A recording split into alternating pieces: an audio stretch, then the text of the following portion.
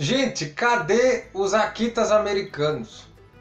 Eu quase não vejo nas redes sociais as pessoas botando a foto dos seus Akitas americanos na rua. É muito raro de você ver.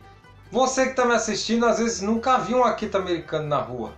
E eu acho essa, essa raça linda, boa de guarda e imponente.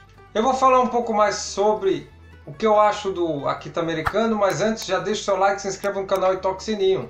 E compartilhe meus vídeos, meu filho e minha filha.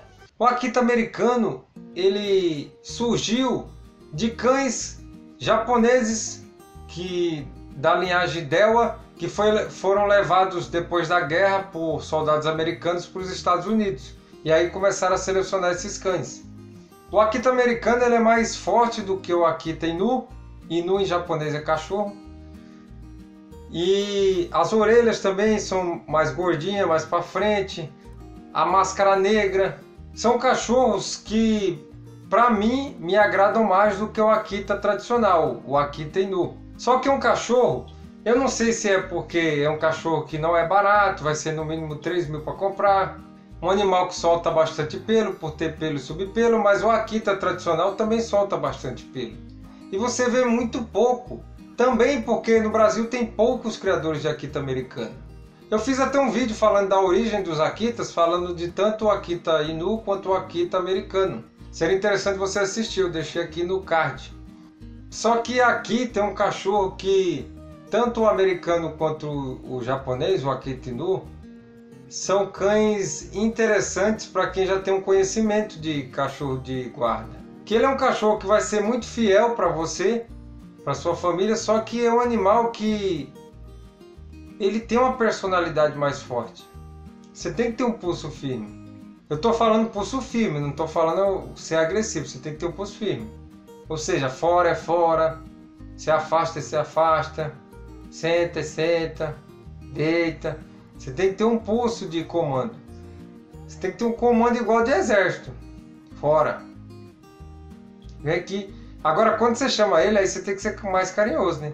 Vem aqui. Vem aqui, menino. Só que é um cachorro que se você deixa, botar a regra desde pequeno, desde filhote, é muito tranquilo. Se você vai criar ele em área externa, já deixe ele na, a ter a casinha dele, a água, a comida na varanda ali, no local protegido do sol, com água abundante, a comida no, no, nos horários certos. Você botando regra, o Akita é um cachorro maravilhoso. E o Akita americano, ele, para mim, o Akita americano ele, ele é muito mais imponente só de, da presença assim do que o Akita Inu. Só que os Akitas Inus escuros eu acho muito bonito também o tigrado. Só que como o Akita americano ele tem a, o, a cara negra, a máscara negra, ele fica com a cara de mais de bravo, assim, de mais perigoso.